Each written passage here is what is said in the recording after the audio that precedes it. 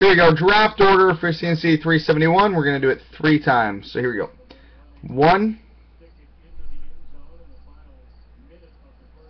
Oh, looks like random.org's being its usual self tonight. Oh, Jesus.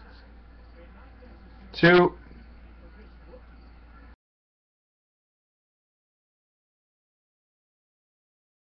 And the first overall pick belongs to...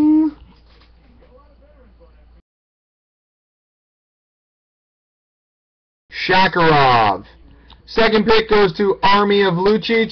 Third pick, Matthew Stevens. Fourth pick, Disco Dishlicker. Fifth pick, Matthew Stevens. Sixth pick, Bronte. And seventh pick, G.V. Kelly. So there we go, ladies and gentlemen.